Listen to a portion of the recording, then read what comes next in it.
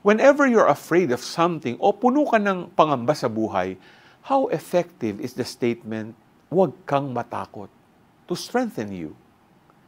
Well, pwede nating maisip o masabi na madali para sa iba, para sabihin, yun kasi wala naman sila sa sitwasyon natin.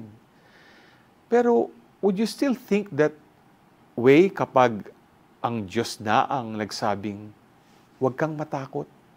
In fact, sa gospel natin today, Jesus mentioned, do not be afraid.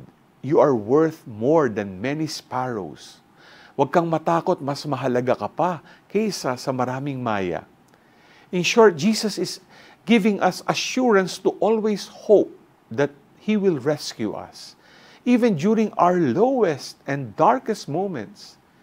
Kaya, when someone pats you uh, on the back and says, huwag kang matakot, it is God reminding you to hold on to the hope that He is there to back you up.